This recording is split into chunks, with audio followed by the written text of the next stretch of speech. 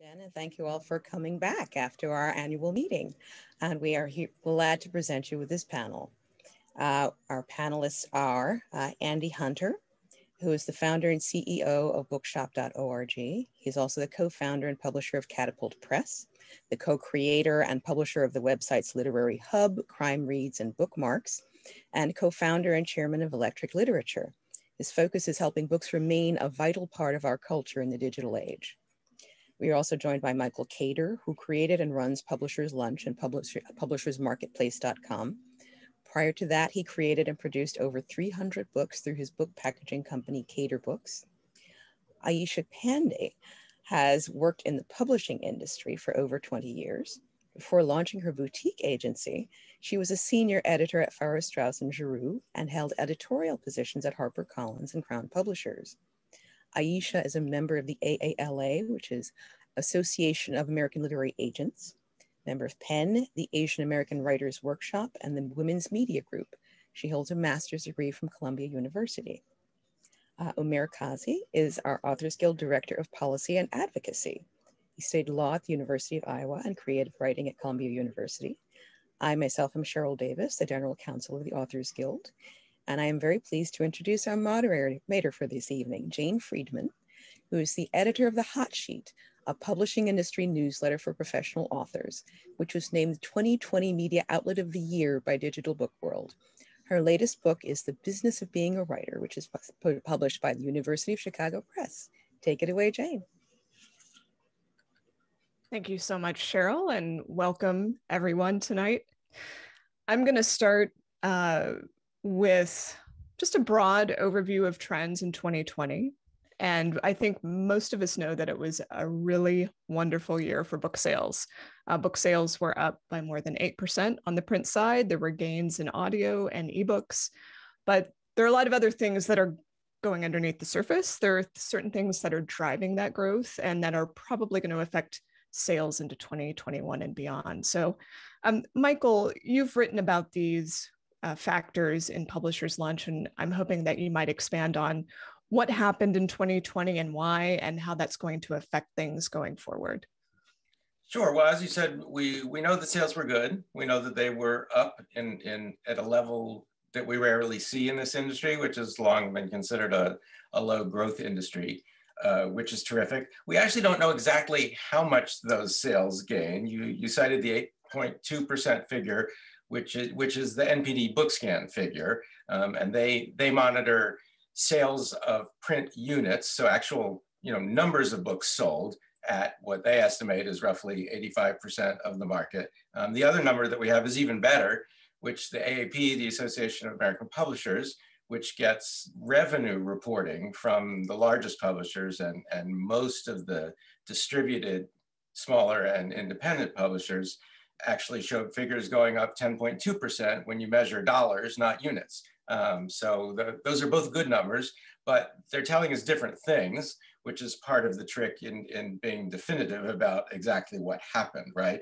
The, those AAP numbers, actually the largest increase wasn't more sales, it was fewer returns. So a much cleaner sale, um, fewer books sitting around in bookstores that then got shipped back to publishers because they didn't sell.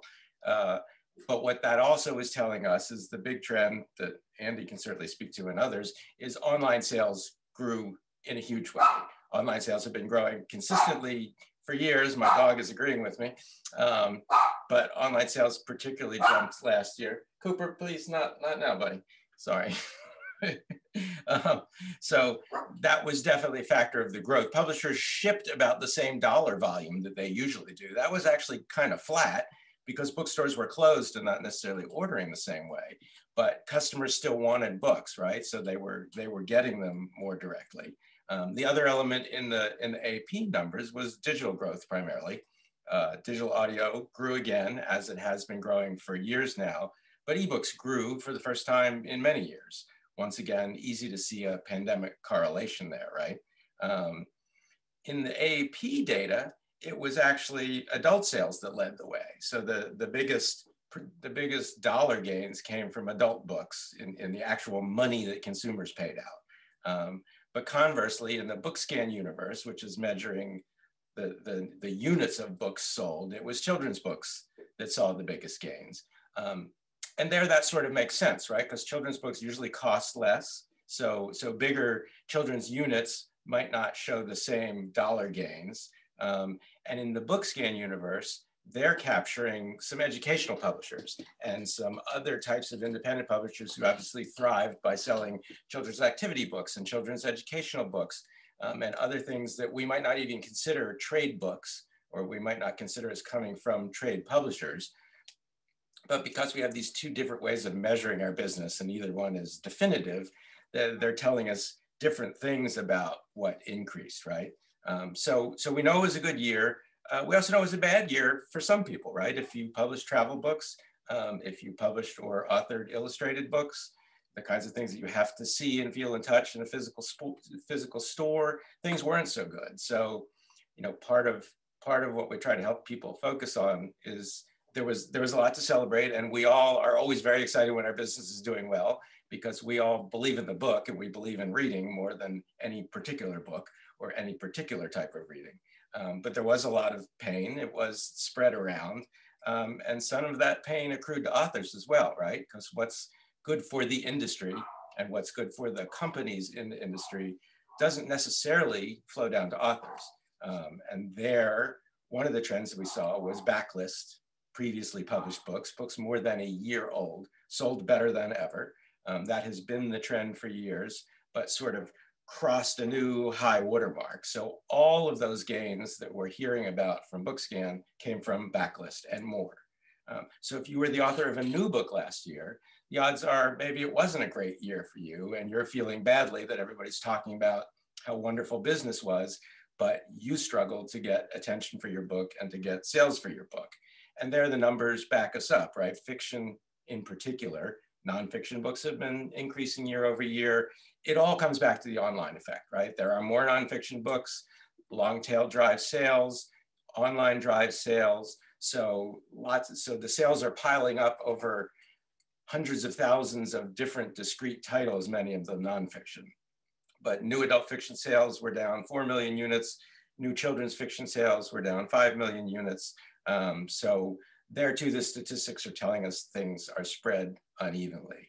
Um, Ayesha is going to talk more in a minute about some of the other challenges that authors, particularly authors of, of new books, faced last year that might continue on.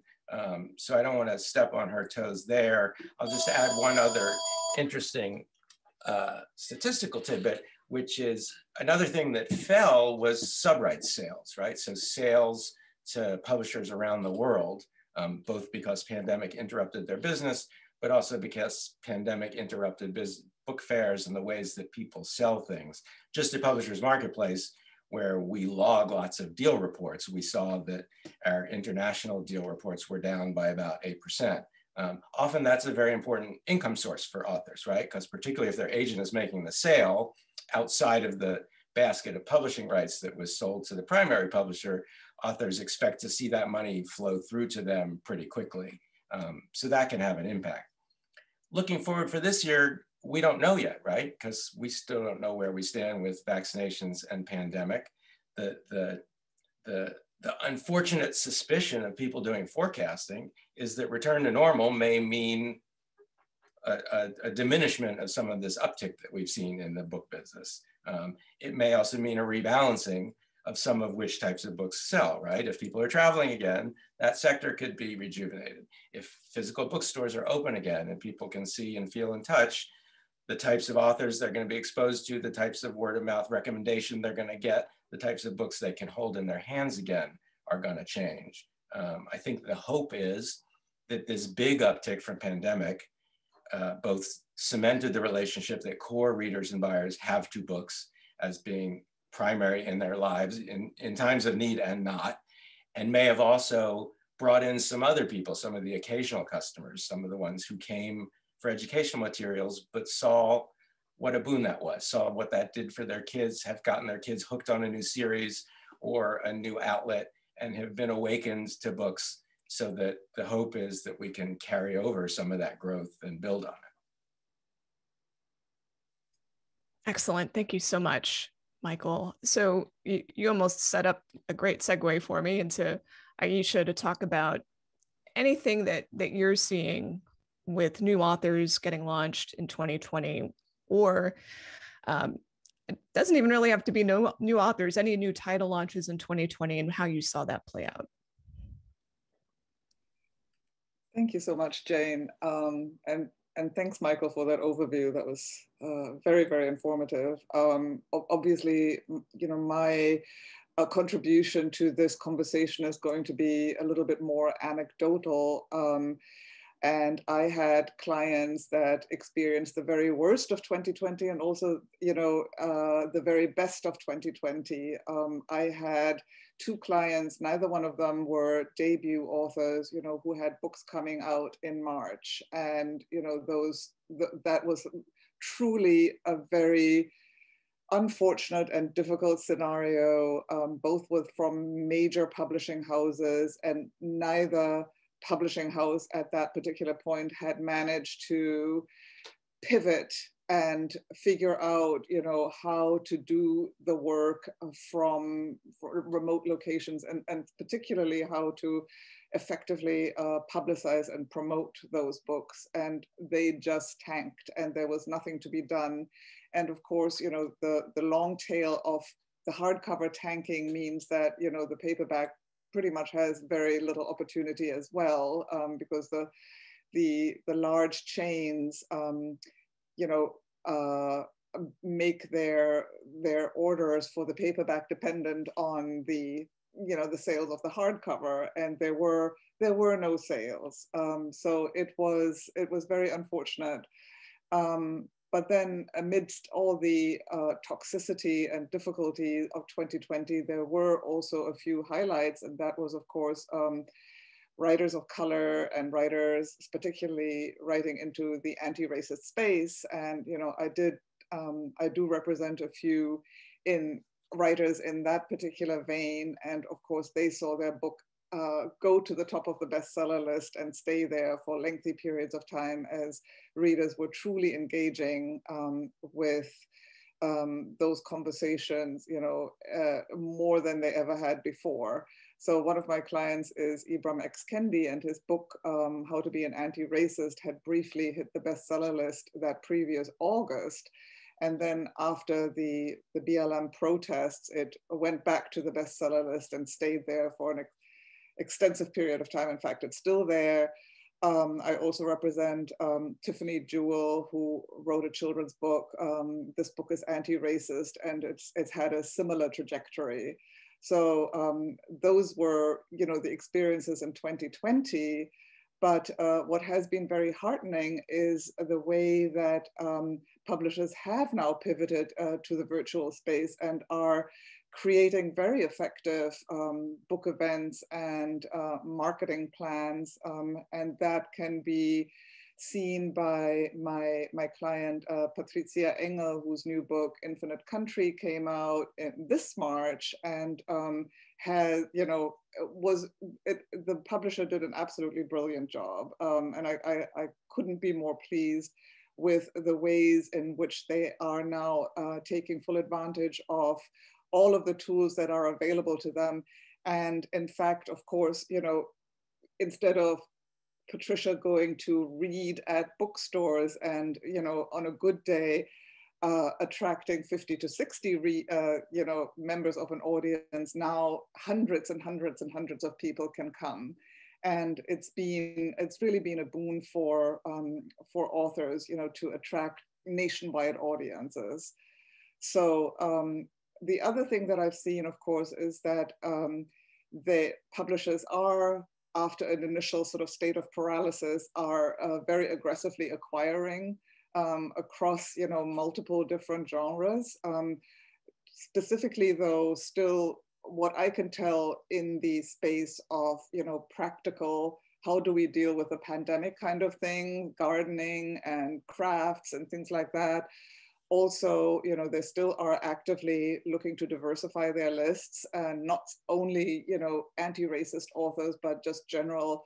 writers from other cultures and from other marginalized backgrounds. Um, and um, I guess the, the final trend that I want to talk about is the very long drawn out print schedules as there has been a sort of backlog of you know of printing and um, ships sort of being held in the harbor and stuff like that so that that books have to go to the printer far far earlier than they ever had. Um, so you know things are taking much much longer to get published than they ever have before. Ayesha, I've heard some agents say, and I won't name names, that they found themselves avoiding more challenging work right now because they felt like they either didn't have the attention span for it themselves because of all of the anxiety surrounding the pandemic and or they were worried the editors they were submitting to just didn't have the mind space for it have you found that to be true or is that just going to differ too much on an agent by agent basis I particularly have not found that to be true, um, uh, but I have heard um, colleagues, agent colleagues, say that you know that that editors are asking them for um, light escapist fare. And um, one of the things that I have heard lately, um, which I find a little bit worrying, you know, in terms of the kinds of clients that I represent, is that um, there's now, you know, sort of a slight waning of interest in stories that um, that explore trauma and and particularly racial trauma and that you know i'm getting more feedback that um, they're looking for other types of stories stories of joy story of success stories of happiness and love and and, and things like that and um, you know while obviously i I, I do understand this, there should be a broad range of stories. Um, there, it's hardly that we've had, uh, you know, a lot of um, the, the stories that explore racial trauma, you know, after just a few months of having those kinds of books acquired. Jane, just just one data point to throw against that, since since we are operating on individual perspectives and reports when we talk to agents. So, Publishers Marketplace, we also we also chart domestic deals. Uh, our biggest deal reporting stream is domestic. And, and interestingly, last year we saw our total deal reports go up. Uh, again, they declined somewhat in March, but the rest of the year was up, up almost 8%. But as to the type of books, we saw adult fiction up almost 15% in terms of total deal reports. Now, I can't tell you the nature and character of those stories, and maybe some people would say fiction in and of itself can be escapist, um, but the fiction market had been lackluster for at least a few years there. And, and we certainly saw publishers investing in fiction again, even though, as we were saying, nonfiction's been driving a lot of sales. So, so it signals me a belief that, that there's still a restorative or inspiring power to fiction and that, that fiction is still something that publishers are looking for in case people thought that maybe publishers had sort of given up on that and decided that nonfiction was just a safer, steadier market. That is reassuring. And, and maybe to add to that, I saw a report for the UK market. This was earlier in the year from the bookseller, where they measured sales of debut fiction in 2020 versus 2019. And there was about a 10 to 15% increase in sales. Um, so despite you know the, the bookstores being closed, um, maybe things weren't as bright and rosy in the United States, but the UK saw really nice uptake of new fiction. Um, also, the number of titles uh, going out was reduced, um, so that kind of made it a little more remarkable. Even maybe there was more time to focus on a smaller number of titles. I don't know. Okay, well, switching gears, I want to move over to Andy, and Michael mentioned in his overview that there's been a switch or you know more online sales, which makes a lot of sense. And you had the good fortune to launch Bookshop in January. So uh, I wanted to give you an opportunity to talk both about what I think you've called the white knuckled ride of launching Bookshop during a pandemic, um, and also what you're hearing and seeing from bookstores uh, right now. Yeah, yeah, it was definitely an insane experience launching Bookshop. Uh, we had thought that there was an incredible urgency because Amazon was growing so fast and taking on so much market share. And then six weeks into what we thought was going to be a relatively quiet beta period, we suddenly had um, hundreds of stores onboarding and our sales grew maybe 4,000%. Um, and we were fighting to keep it all together. At the same time, the schools shut down. My kids were at home. They were working on devices. We never let them use an iPad before. And suddenly they had to be on an iPad all day. My landlord decided to start um, digging out the basement. So to start a basement apartment. So it was a jackhammer underneath me all day. And I was trying to um, keep the system up and keep the order shipping, etc. Um, so it was, it was really wild. But at the time, it was extremely gratifying that we were getting so many emails and so much feedback from the stores that we were able to help. Um, many, many stores had not jumped on the e-commerce bandwagon. And the ABA, which had been valiantly building sites for stores through their indie commerce platform, was overwhelmed by the sudden need for stores to um, create their own websites. And on Bookshop, you can create a website for and start selling books to your customer in half an hour or less. So, and there's no upfront costs and no technical knowledge necessary. And you don't even have to go into your store and um, pick, pack a book and bring it to the post office because it's all goes is fulfilled through Ingram. So we were sort of the perfect pandemic solution. And that's why we boomed so much. And um, and we were really happy to be there at that moment for those stores. Um, we definitely saw a ton of socially active um, book buyers, like book buyers that cared about, cared enough to not shop at Amazon, are the same book buyers that cared a lot about like the Black Lives Matter movement. And speaking of how to be an anti-racist, that was our most popular book last year. Um, and it was great to be on top of that too. It was great to be part of what was fueling um, a lot of those books that were extremely important for people to read um, at that time. Now, we're coming out of that, we earned about $12 million for bookstores in our first year off of about $50 million in book sales. And we want to do a lot more this year. Um, but it's it's not a total success story because there's the problem that we're trying to solve is so big. Um, most bookstore sales were down around 30%, sometimes 40%. Um, in the past 10 years before the pandemic hit, $8 billion has been moved from the brick and mortar um, bookstores to online sales. And that is dramatically dominated by Amazon. If you take Amazon's growth rate from like 2015 to 2019, about six to eight percent of the market for new books every single year. If you extrapolate that to 2025, that's 80% of the market. So what happens then? Like what happens to all the authors, the whole ecosystem when Amazon's at 80% of the market? Um, I think it's a pretty dire situation. I don't want to seem like chicken little, but I think everybody in this call needs to really be aware that we are at an inflection point. Amazon's putting the squeeze on libraries now. They're certainly putting the squeeze on bookstores.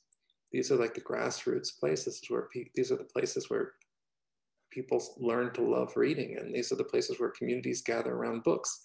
And without these grassroots places where people can encounter books and advocate for books and authors connect with their fans and book clubs gather and schools work with bookstores and libraries and all of that. Without that, like the, the presence of books in our culture, the importance of books in people's day-to-day lives will be diminished if the physical manifestations of our industry are wiped from the earth. And we need to reinforce that ecosystem really very passionately and actively. We can't afford to watch how things play out anymore. Um, you know, the first thing that people need to do is support their local indies, which is any author that has a local independent bookstore that they love, that they have a relationship with, that's where they should be putting their effort. That's where they should be selling signed editions, directing their fans to go to.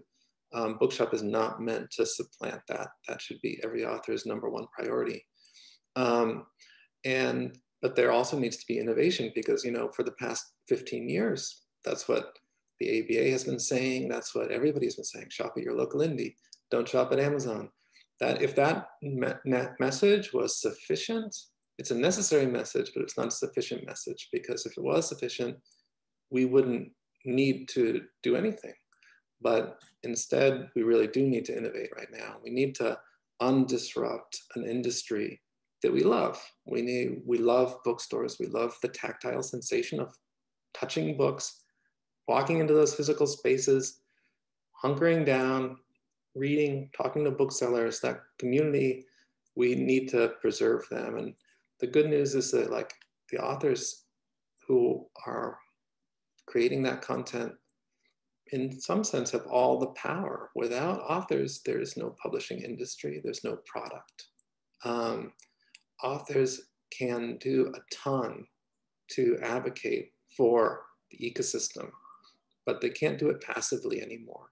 Um, they need to do it really, really actively and strongly and leverage the power of their audiences. Every author has an audience, whether it's a small audience or a big audience.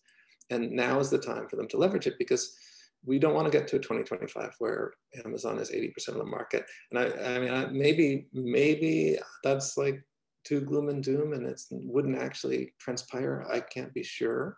And Michael probably knows better than I because he's got incredible insight and sees, cuts through all the fog um, when it comes to like what's actually going on in the industry. But I can tell you that like it, the pandemic has like put the pot on boil. If we were the frog in the pot that was getting warmer every year, the pandemic started the water boiling and we aren't going to have much time to jump out of the pot.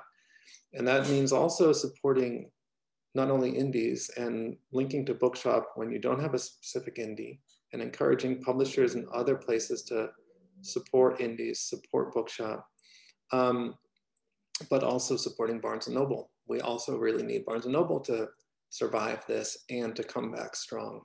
Um, so, and every author needs to be a voice telling people that and telling people that they need to support their physical spaces and support the ecosystem and keep a diverse, rich ecosystem. Because otherwise, like, what are you when if Amazon is 80% of the book market?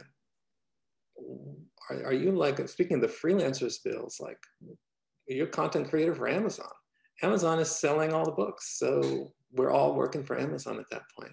Um, and we can't you know, obviously that's not going to be healthy, even if you're an author that gets most of your revenue or a publishing house that gets most of your revenue from Amazon. And even if you think that they're a good partner, um, you can't expect a future where one player dominates the entire industry to be a positive future for the kind of culture that we love around books. And that's what we need to fight for now. I'll throw a plug in for Bookshop's affiliate program. Um, authors can become affiliates of Bookshop. It's a very generous affiliate program. It's meant to compete with Amazon's affiliate program. So for authors who have websites and social media and Instagrams and all of the rest of it, um, I might suggest that you take advantage of the Bookshop affiliate program and use their affiliate links, or don't. Um, but link to Bookshop or to your local bookstore. Okay, so uh, switching gears, you mentioned uh, Andy, the I think you you referenced obliquely the PRO Act, which is now coming down the line, which gives me an opportunity to move to Umair, who I I know has some has something to share from the Authors Guild regarding this legislation that's now um, moving through Congress.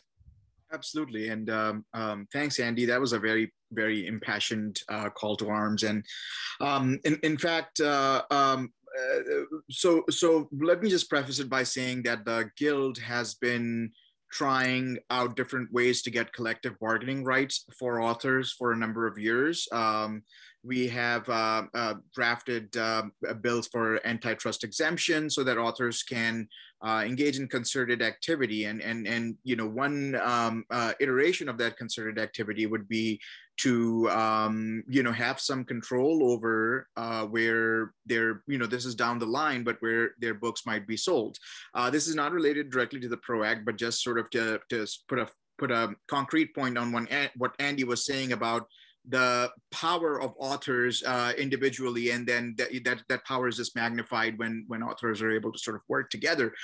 Um, uh, uh, the the so we've been trying uh, for collective bargaining for a number of years, and and you know we were blessed with a, a Republican Senate for many of those years, so uh, we could not uh, really get anything off the ground. And then uh, now that we have a Democratic Senate, things are moving very fast. The House passed the PRO Act; they actually passed it last year too, and then it, it failed in the Senate, and now it's back up in the Senate again.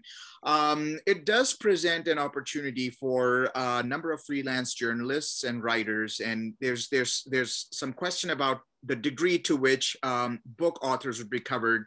Um, probably not, because the language of the book authors don't per se provide um, professional service, uh, but it's it's it's definitely uh, a space that the guild is very interested in kind of uh, analyzing and exploring more and and and you know pushing for ways to uh, for book authors to also have the benefits of collective bargaining. But at least uh, as things stand right now the pro act uh, would um, um, extend collective bargaining rights under the National Labor Relations Act uh, to uh, lots of freelance journalists and uh, writers, and that's because um, the PRO Act is um, is is uh, is is using um, um, uh, the ABC test, which is you know quite controversial for for a number of different reasons, um, uh, to um, uh, uh, to deem independent contractors who meet the criteria of this test uh, employees only specifically for purposes of the National Labor Relations Act, and the the the, the very limited consequence of that is that those independent contractors will have the same rights under Section 7 of the NLRA as uh, employees. So the right to collective bargaining, and um, uh, there, there's also some prescriptions on on on on employers uh, uh, as far as how they can stop uh, how they can interfere with that collective bargaining activity um, and and freelance journalists and writers um, uh, fall under that because of the abc test b prong which um, um, so the ABC test requires that, uh, and it, in order to be, it's it's it's it's, it's kind of a, a confounding formulation because uh, it says unless, and then there are ABC three factors, and um, and and uh, and uh, an independent contractor that is truly an independent contractor in this scheme of the law uh, has to meet all three factors and freelance writers and journalists would not meet b prong because they provide the professional services they provide are often you know when they when they work for a publication they're providing services that is that is in the usual course or the primary course of the publication's business. So uh, if um, you know in our in our blog we we mention how if, um, um, uh, uh, if for instance an independent contractor writer who um, writes uh, an article for the Authors Guild Bulletin wouldn't really be uh, uh, uh, and wouldn't really be an employee under the PRO Act because the Authors Guild Bulletin is not a publication as such, you know. But if they were writing for you know any number of um, you know publications that we know and love, uh, they, they could conceivably have those rights under the PRO Act and would be able to sort of work with other writers to um, you know negotiate any number of things, you know, negotiate better terms. Um, they they they could form a union. They don't have to. There's a choice. There's a bunch there's there's a lot of misconceptions uh, floating around about the pro act. And and i think the the the principal one is that it uh, somehow nationalizes uh, california's ab5 law.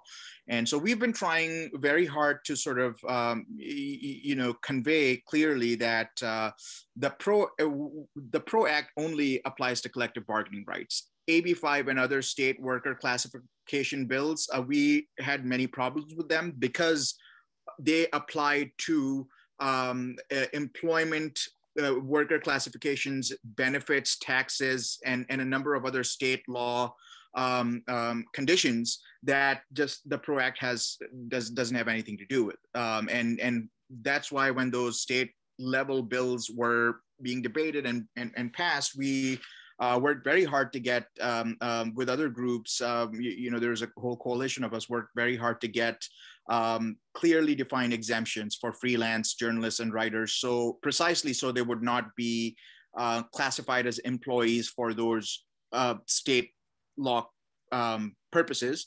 And, uh, you know, because we'd seen some of the consequences emerge in California where freelancers lost uh, clients and there was um, um, trepidation among um, publications from hiring California freelancers.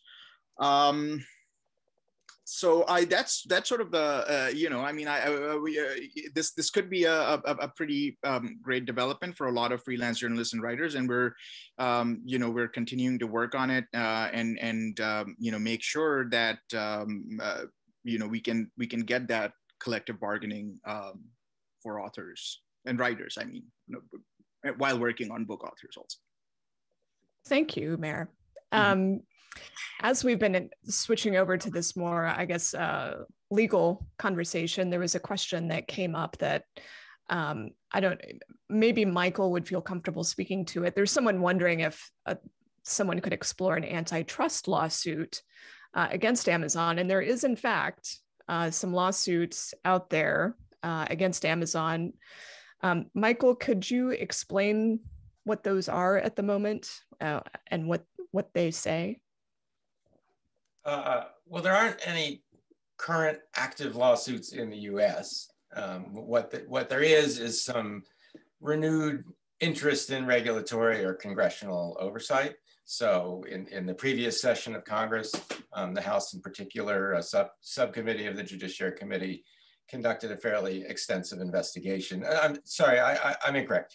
Based on the House's investigation, there's been a, there has been a class action lawsuit filed against Amazon and ironically the big publishers who are their captive, who are being sued for being their captive.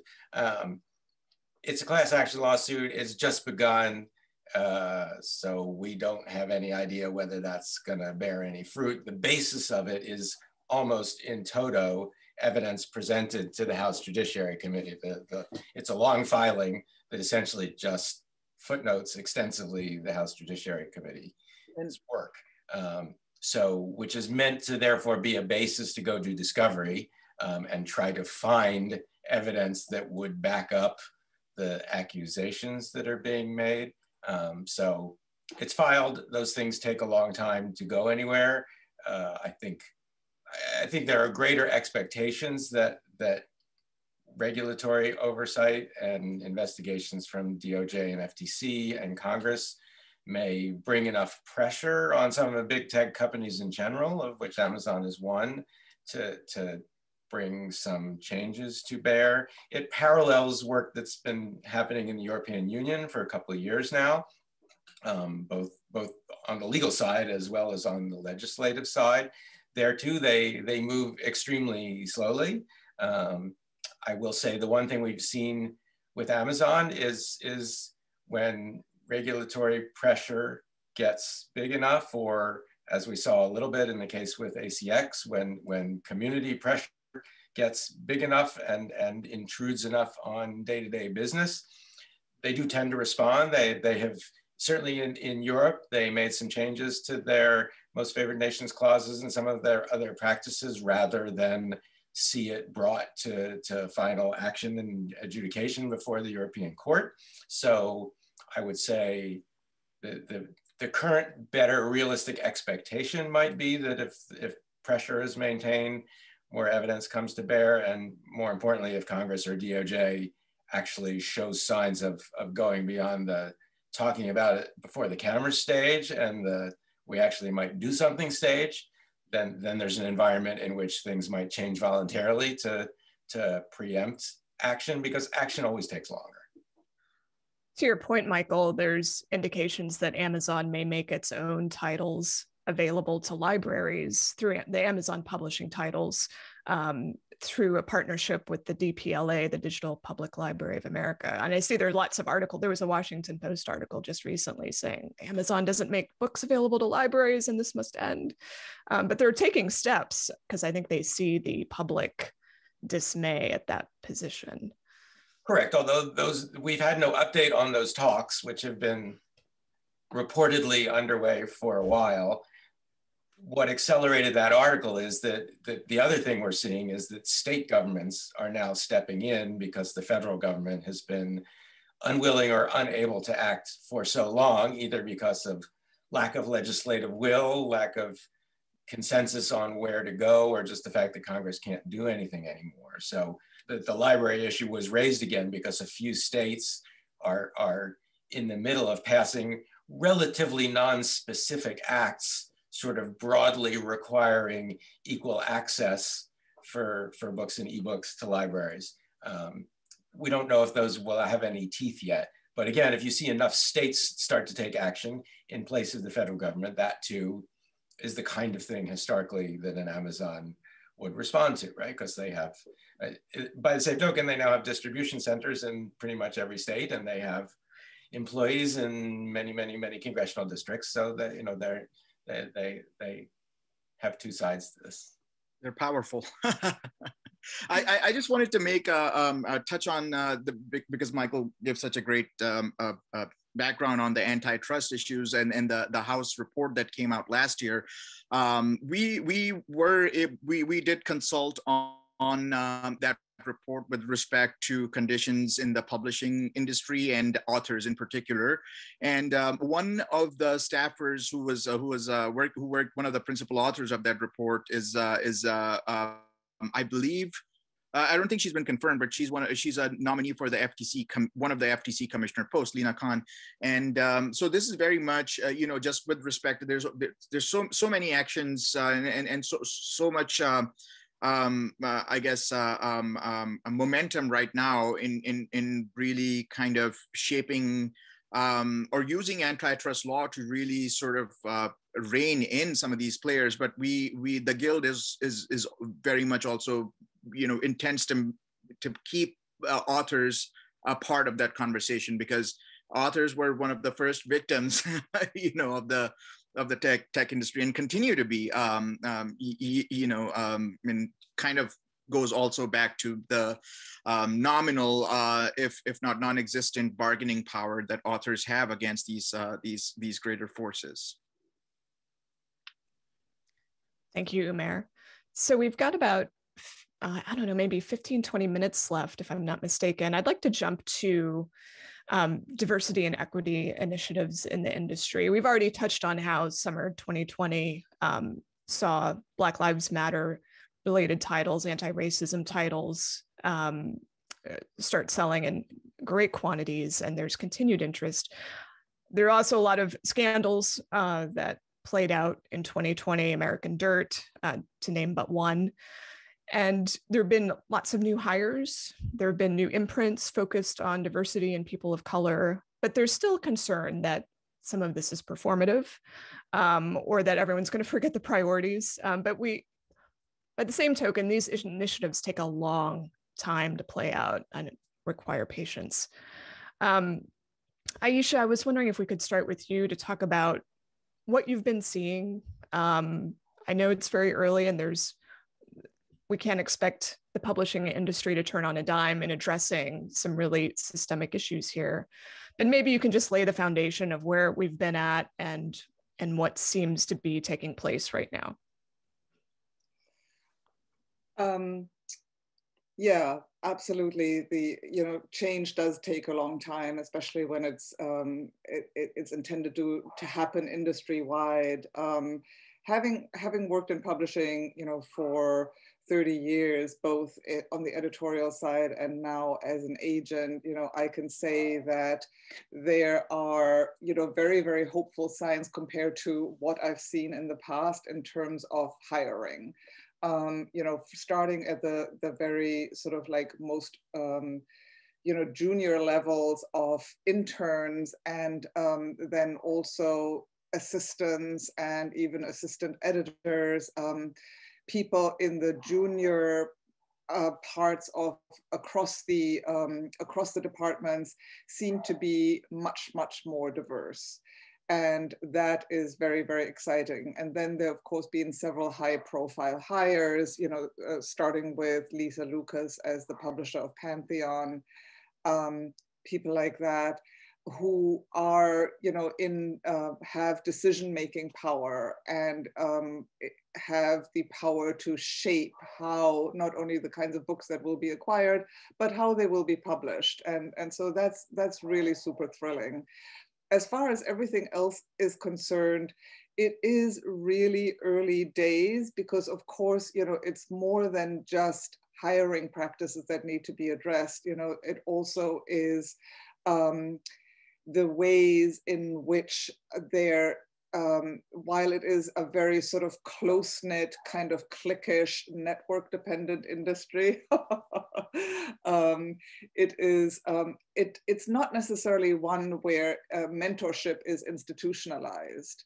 and I I do think that that is a very important thing for the publishing industry to take a look at because if you are from a marginalized community and you're entering what is still a relatively homogenous community, not only racially, but also um, in terms of class, particularly, you know, there's a certain kind of uh, um, upper middle, highly educated from very elite universities type of um, environment, then you, it's going to be difficult for you to navigate that if you don't come from that same background.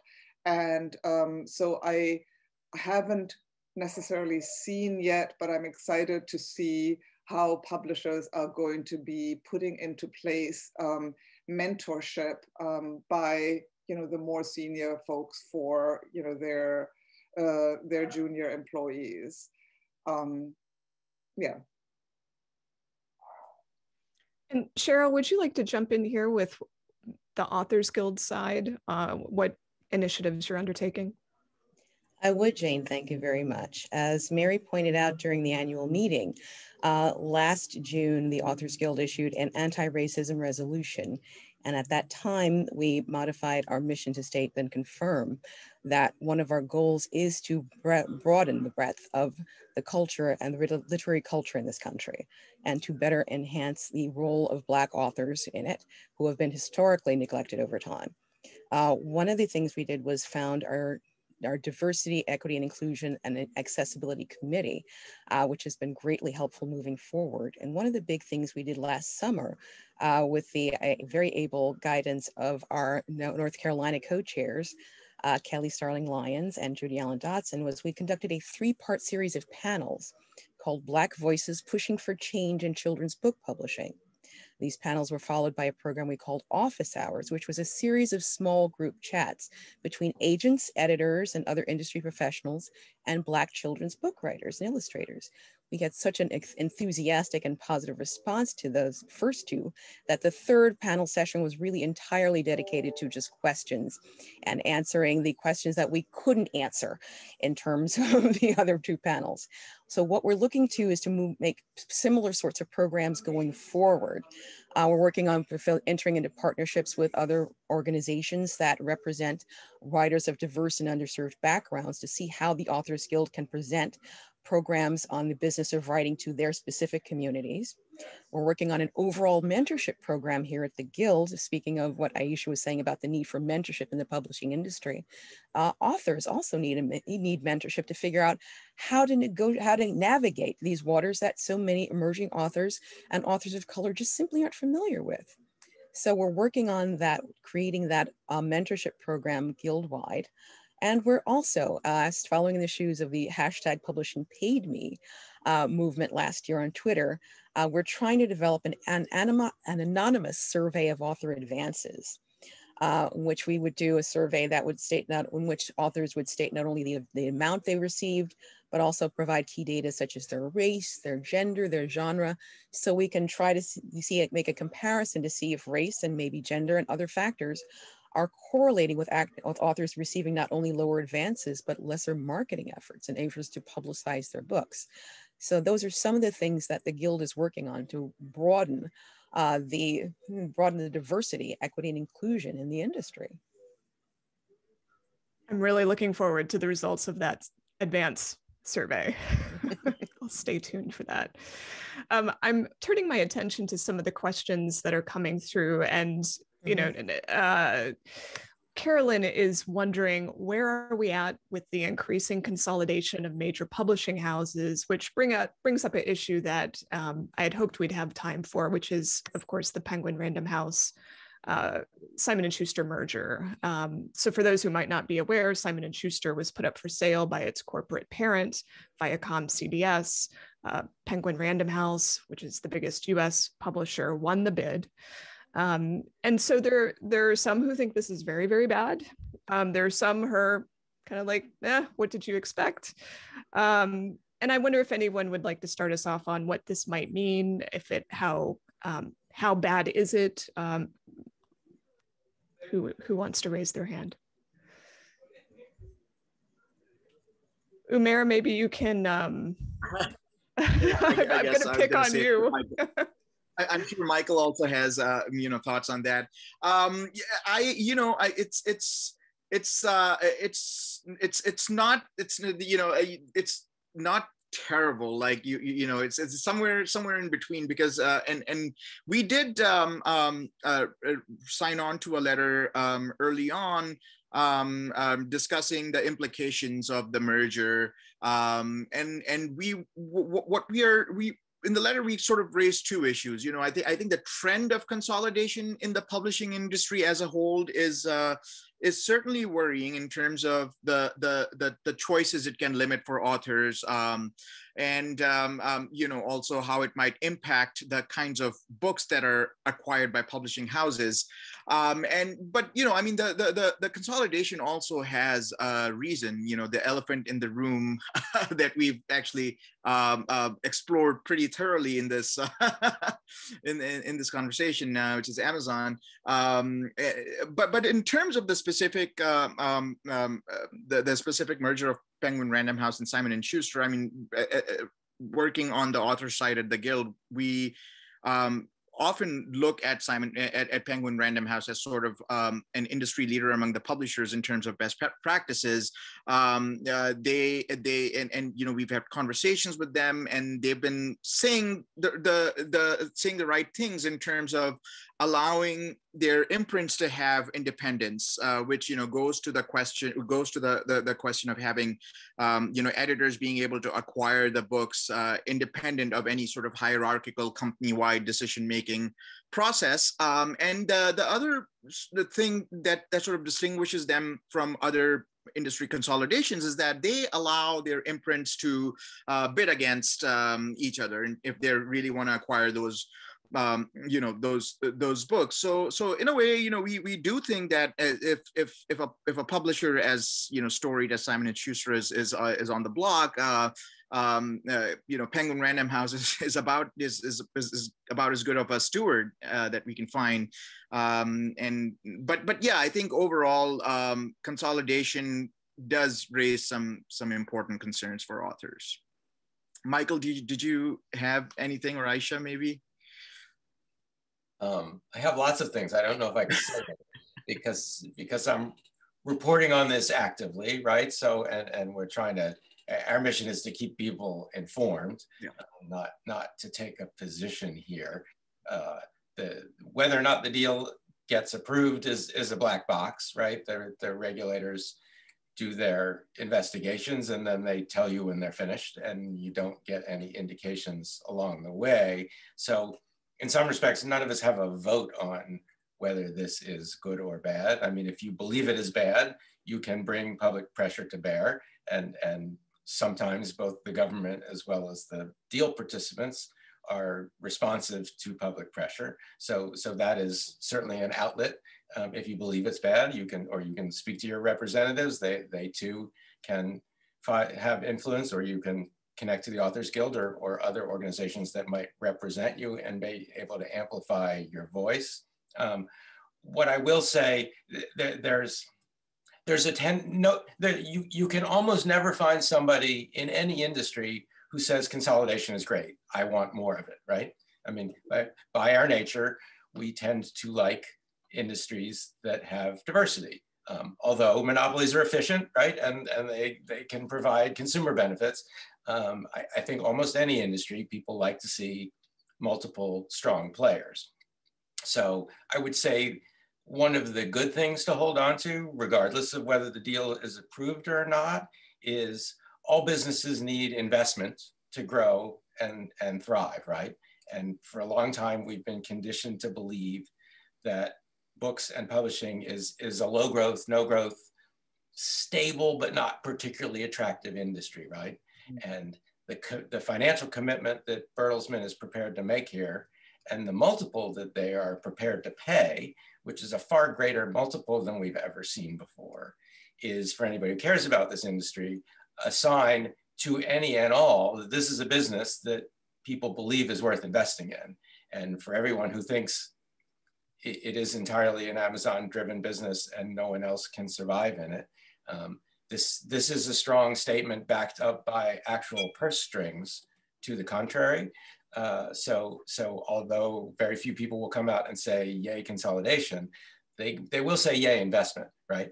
And, and so the fact that there were multiple bidders of scale is encouraging. You know, back in 2012, 2013, when Penguin and Random House merged, which at the time was the largest trade publishing merger ever, the amount of investment that traded hands was zero dollars.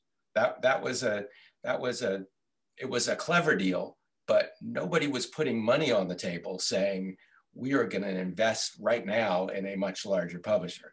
Money changed hands later once once the once the consolidation, once the merger integration had was underway and the company started growing again, and then Bertelsmann saw that that they could invest further. So this is sort of night and day in that respect, right? Um, this this is a serious financial investment, and again, Bertelsmann, which owns Penguin Random House as a company, has a long history here, right? This publishing is, is core to that company's existence. So also this is, this is not an enterprise that's gonna change their minds about their commitment to books and literature anytime soon, as far as we know it. So their argument too is if consolidation is going to happen, if assets like this are going to get bought up and put into one place, do you want them in the hands of a gigantic entertainment conglomerate or a tech giant?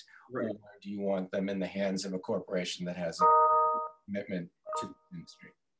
Right, right, absolutely. And and just to sort of go back to that, um, Michael made a really good point. Uh, we we initially uh, when we post the merger, we were concerned um, that what happens if uh, you know management changes again. Right now, you know, we are sort of um, um, um uh, we can be comforted by the fact that Bertelsmann does value the in- industry so much uh, but uh, you know, there's still this question of well, what happens if if the if, if the management changes? How will that um, affect uh, diversity in terms of acquisitions, and uh, how how you know whether or not it will shrink the number of people? Ultimately, the number of people that are making decisions in terms of the lists, um, and and make the, the the publishing house more hierarchical. So um, those are those are all sort of open questions that that we'll we'll, we'll keep um, you know looking at. Andy, I wonder if I could put you on the spot with this issue because you know there's some concern that greater consolidation means there's a less diverse publishing industry or there are fewer risks being taken. Once you get to a penguin random house size maybe they're more conservative in the sorts of choices that they're making. Some have expressed this as an opportunity for literary independent publishers smaller publishers to come in and maybe take the books that a really large consolidated company might not do. What do you think about that? I think it's absolutely true. And it's one of the great things about independent publishing. Although, certainly within Penguin Random House, there are a lot of imprints, many of whom are looking to take risks, especially right now. You brought up Lisa Lucas. I'm sure that Lisa Lucas is not operating on that principle right now. Um, but look at the success that Grove Atlantic has. Like they're winning the Booker Prize multiple times. They're winning national book awards. They publish incredible work. You know, Graywolf Press. Um, there's just really great, unique work being published by independents all over the country. I mean, I my imprints are Catapult, Counterpoint, and Soft Skull Press, and we definitely try to take risks that other publishers won't because it won't because that's our advantage and that's where you can shine and that's where you can like seeing the value in something that others might overlook is that's the prospecting that every independent does. But it's also that it's really essential to the greater literary conversation and and what makes the literary world so dynamic. And and i think that that's it even includes um, self-published authors and everybody else. Like the fact that that things are so democratic now that people can publish online, they can publish ebooks, they can build platforms without any kind of big financial backing is, is a great development. I'm all for it. And so, um, you know, I think that, of course, big publishers have enormous leverage. And that's one of the issues that With Amazon. I've got, of course, a lot of issues with Amazon, but one of the issues I have is that, like, there's that um, bestsellers are bestsellers because they're bestsellers. That happens on Amazon. You get on that, that Amazon bestseller list, you're surfaced first in their search, they put you in their promotions, reinforces it, it keeps the same 10 books, same 20 books in circulation over and over again all year. That's where the money is, that's where PRH is going to be focused. It's just the, the way things are. And I think it's getting harder and harder, especially in certain um, avenues like thrillers and like it's really hard for new writers to break into those markets because of the consolidation like once if everybody's buying from amazon especially in ebooks um, then and they just reinforce the same patterns by having these blockbusters and these top 10 lists it's really really difficult for new writers to break in so at the same time you've got this incredible democratization that technology allows, you also have the kind of capital capitalist structures that are being built around the commerce side that are fundamentally undemocratic. And it's up to like disruptors and innovators and people who are passionate about these things to try to try to work around that and find ways to, to make it more diverse again and to empower creators and small presses and everybody else to get their message out and to build audiences as well.